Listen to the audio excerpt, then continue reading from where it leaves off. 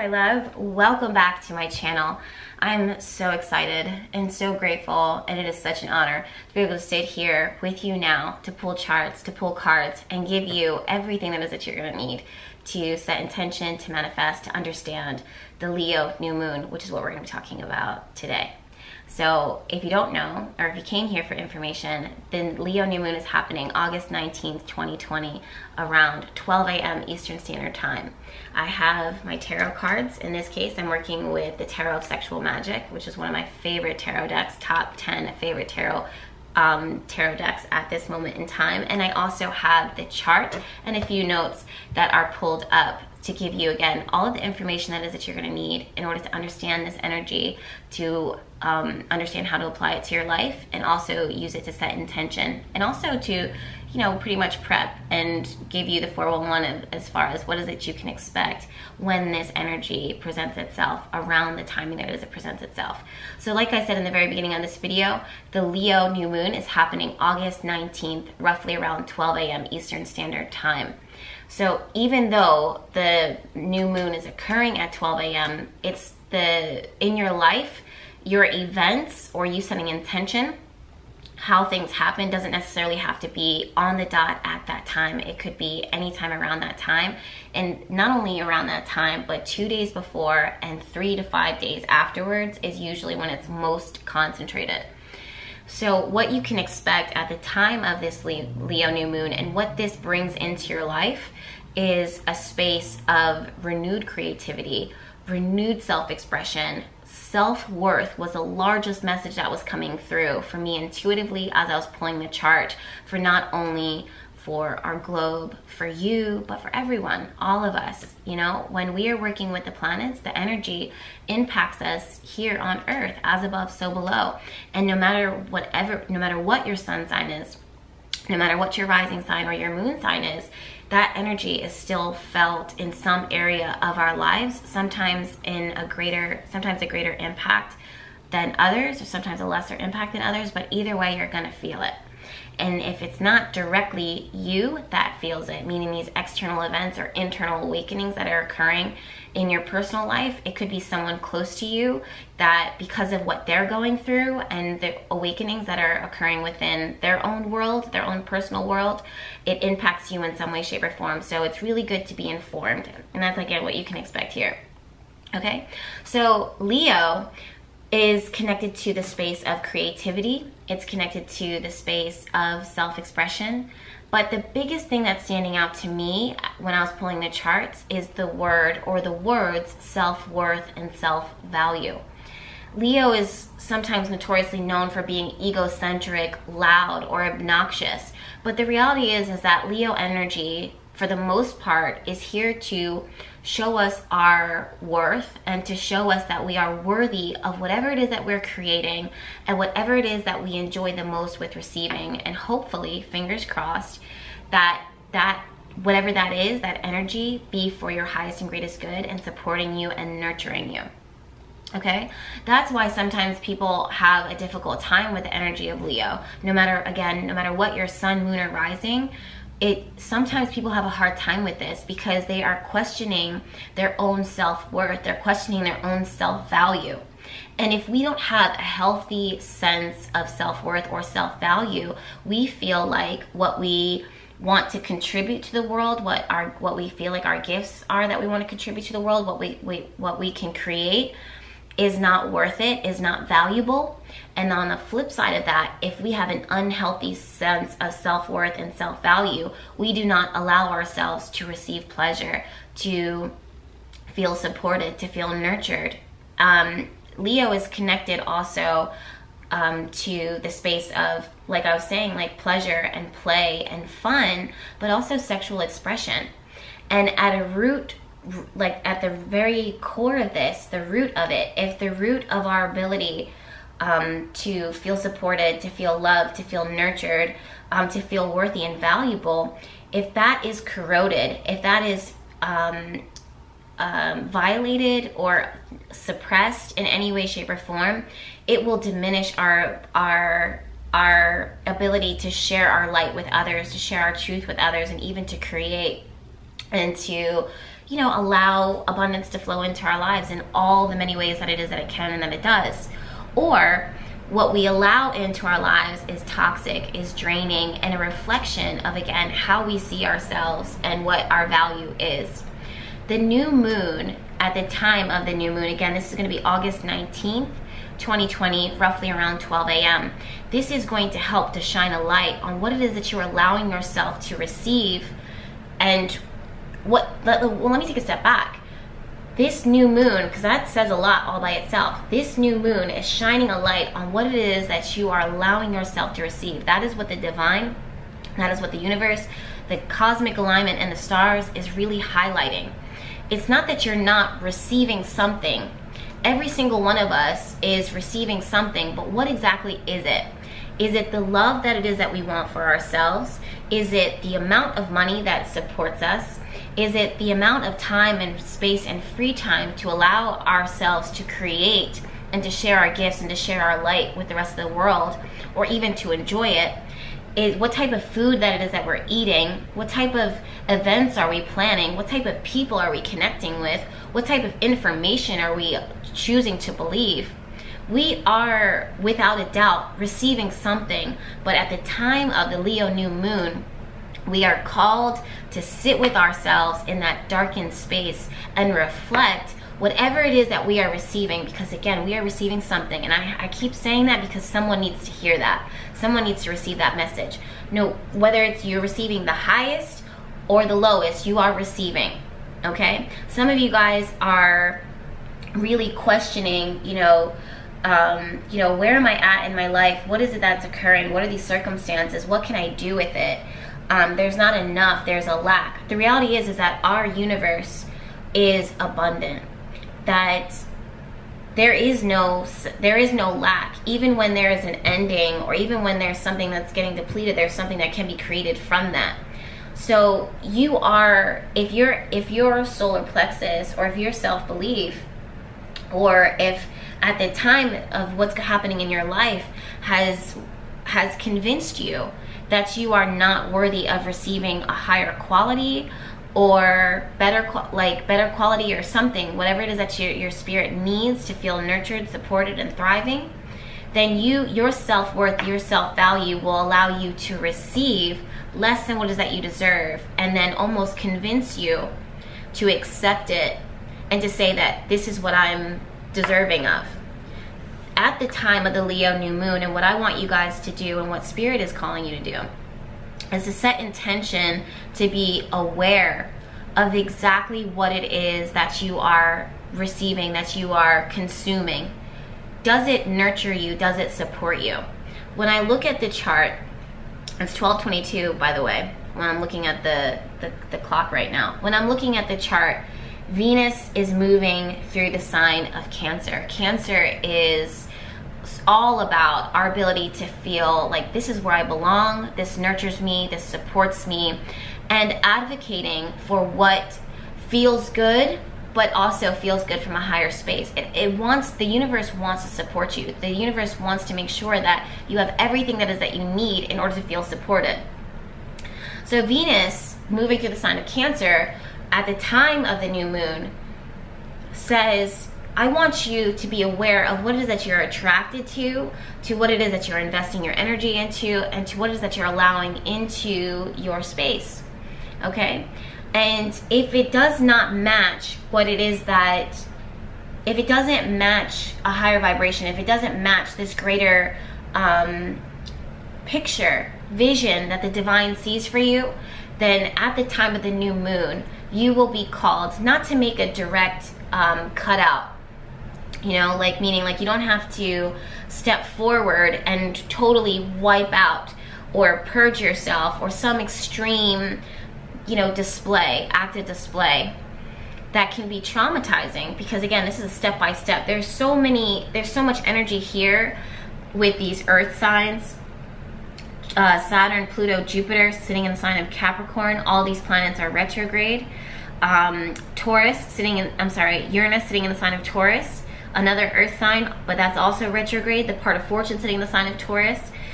Um, so there's these this this element here, and also Neptune retrograde in the sign of Pisces, which is this um, water. But when Neptune Neptune rules illusion, fantasy, and this higher sense of self and higher um, ability to connect with the divine and get a higher message, it's retrograde. So there's all of these all of this uh, chart right now and all these planets are guiding you to not take this erratic spontaneous leap as much as it is a slow and steady step forward with starting with the root and allowing yourself to heal those aspects of yourself that don't allow you to receive better for yourself. Again, the like the the core message that I have to keep that spirit literally is calling me to revisit and to return to is no matter what you are going to be receiving.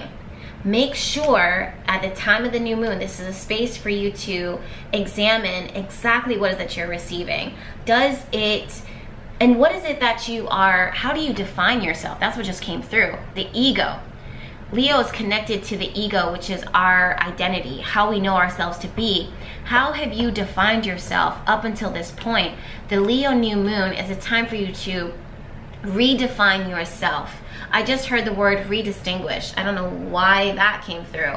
But to distinguish means to, to set something apart from, to realize its value and to move it into a space where it is valued. To realize its value and to move it into a space where it is valued. Some of you guys, that is truly the core message of what the new moon brings to you you have to be moved into a space or begin to make the moves to be in a space, a position where you are more valued or you are valuing your gifts, your light, what it is that you give to the to the world, to others, so that other people can see it. I'm also getting a sense with the Leo new moon as I'm sitting here, I'm hearing the words peer pressure. Leo is notorious for being the center of attention. Why? Because Leo is ruled by the sun. The sun is the center of our galaxy. The sun is the center of our solar system. In order to be in that space, you have to be comfortable with being seen and you're the light for light to shine on you and to come from you so that others can find you and see you. Having said that, there are going to be some people who are going to see you standing in your truth, sharing your light, sharing your wisdom, sharing your gifts, wanting more for yourselves, um, putting positioning yourself to receive more for yourself, and they are going to be intimidated by it. They're going to feel burnt by it. They're going to feel like it's noxious. They're going to think that it's toxic.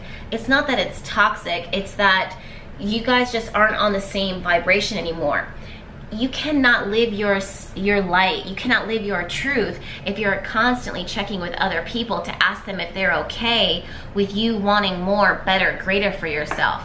You cannot stand in your truth and live up to your highest potential if you are constantly combating and pushing and confronting. I don't want anyone else to feel uncomfortable with me gaining more. And there are going to be aspects of yourself that you actually have to confront and see how much you having more for yourself makes you uncomfortable. That's what's going to happen at the time of the leo new moon. The mercury is sitting here you guys. Um, mercury rules communication it rules the mind it rules messages but it's very very close almost conjunct the time the the, the new moon and what that means is that the sun is burning its its rays out. It's shining its light. The moon is also saying, pay attention to your feelings, pay attention to how this makes you feel. And the universe downloads into your spirit, downloads into your ego um, your identity. You know, it kind of downloads into your your being. This is who you are. This is what we want you to receive. This is what you we want you to know, so that you can work with this energy and the divine timing. This this divine timing clock within your life clicks into space and says, okay, now is the time for you to move this way. Right? That's why we as astrologers we pull the chart so that we get the timing right and that we under we study the planets so that we under we get the energy right but what happens with this Merc with Mercury sitting so close to this new moon is that it almost is intimidated by the brilliant rays beaming off of the, the, the, the sun and the moon conjunction. So there are going to be aspects within yourself that you have to confront that you have to sit with, that you have to rest with. I did pull some cards here, and the cards are so supportive of exactly what is it I'm saying. At the center of my reading, I have Four of Swords, the Empress, let's see if it'll focus, the Empress, and also Four of Wands. I don't know if you guys have noticed, but two fours are trumping a three. Three is our ability to receive receive from the planets, receive from others, give to ourselves. What is it exactly? What is it that we are allowing ourselves to receive? What is it that we are allowing ourselves to rest in? What is it that we are allowing ourselves to accept? And the Empress, no matter if you're a male or female or however you identify, the Empress asks you to evaluate and to make sure that you are truly resting in what is that you deserve. If it does not support you, if it does not give you the space to thrive, it does not serve a purpose in your life. And if it does, if it is in your life, it will be a temporary, it will be a temporary thing. It should be a temporary thing, right? So Four of Swords is showing up here as well as Four of Wands with the Empress sitting right in the middle. Four of Swords is our ability to rest, to rejuvenate, to recover from the journey that brought us here where we're at at the time of the new moon. When we are resting in this space, and resting is going to look different for everyone. You know, we're all going to be different. I'm this is a very general reading, but specific information. It's general in the sense that I'm not pulling your specific chart to tell you exactly how you need to rest and what's going to be most restorative to your energy. That would be more of a private reading type of situation. Um, so take it as it how, how it applies. But the next card that is I'm seeing is the Four of Wands. It wants you to be supported. It wants you to have family. It wants you to have happily ever after. It wants you to harmonize and to, to connect with the very thing that matches your highest vibration that will support you not just now temporarily, but for the years to come. What is it you're rebuilding for yourself? Why? Because not only is it the new moon that is I'm looking at, but it's the entire chart. There's Saturn, Pluto, Jupiter, retrograde in sign of Capricorn, which is rebuilding your foundation, rebuilding our foundation for our world, our businesses, organization, rules, politics. All of those things are being rebuilt as we speak, and it is also happening in your personal life. Uranus is sitting in the sign of Taurus again at the time of the new moon, igniting this this um, awareness to a, that says, what is it that you have valued? What was it that was valuable to you? I want to show you that if you are valuing it, this is the value that it gives to your life. See it for what it is and make when you are aware you are able to make informed decisions okay and when you have four of wands four of swords with the you know supporting and trump not trumping but standing alongside the empress you are empowered at the time of the new moon to really sit and ask yourself what it is that i'm resting in what is that is resting around me what value does it give to my life and if it doesn't give substantial value, if it doesn't make me feel like a queen, a king, or I'm not allowing myself to feel that way and to give my gifts, then I have to transform. With this knowledge, I am empowered. The next thing that I'm seeing is um, I want to move on to the next cards the Hanged Man and the Nine of Wands. Okay, so the Hanged Man wants to, hopefully, this will focus. Let's see. The Hanged Man wants to empower you. It wants you to see from the divine's perspective exactly what you are allowing yourselves to be caught on and what you allow yourselves to stay in limbo with.